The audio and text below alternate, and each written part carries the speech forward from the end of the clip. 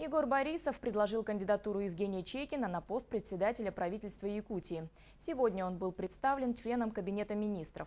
Евгений Алексеевич Чекин родился 24 августа 1973 года в Ярославской области. Окончил Ярославскую государственную медицинскую академию, Всероссийский заочный финансово-экономический институт. С 2009 по 2011 годы был начальником отдела государственно-частного партнерства Департамента экономического развития Ярославской области. С 2011 по 2012 годы руководителем Департамента государственно-частного партнерства Министерства экономики и промышленной политики Якутии. С 2012 года по настоящее время заместитель министра экономики республики. Отмечу, что окончательное решение после прохождения нескольких этапов будет вынесено 25 октября.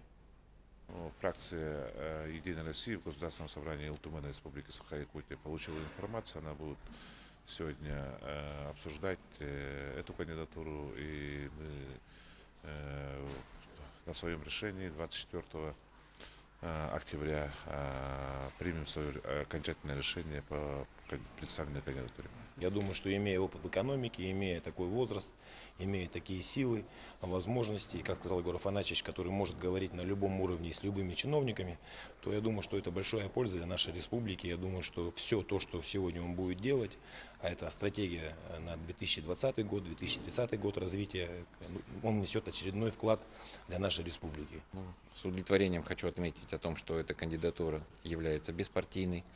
В последнее время достаточно редко такие кандидаты у нас получаются. Это один из важных критериев. Ну, второй существенный фактор, который мне понравился, опыт работы в сфере экономики. Ну, все остальные вопросы мы непосредственно лично ему зададим. И потому что спросят непосредственно с каждого депутата, зачем утвердили, как утвердили. Ну, будем работать, будем подтверждать.